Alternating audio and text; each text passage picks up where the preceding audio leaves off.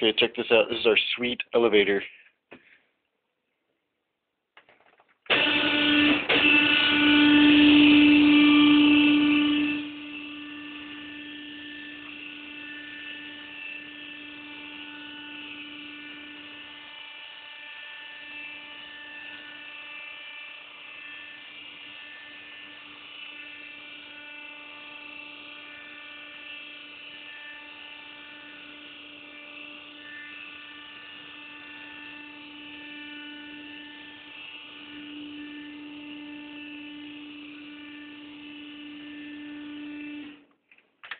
I just lifted all of that.